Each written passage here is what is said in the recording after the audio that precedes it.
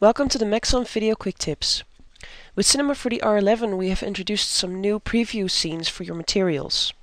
For example, if we click this material, let's make this window a little bigger by right-clicking and going to Huge.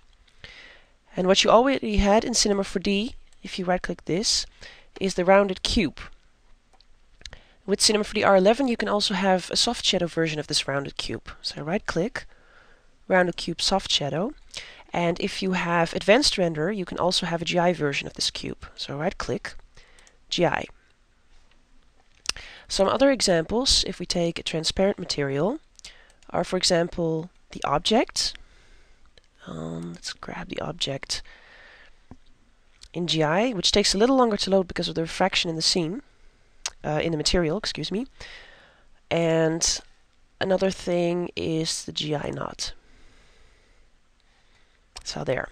And finally, uh, you can have an animated preview of your material. So right click and say Object Anim and then right click again and say Animate. And this will show you a rotated version of uh, the object seen with your material on it.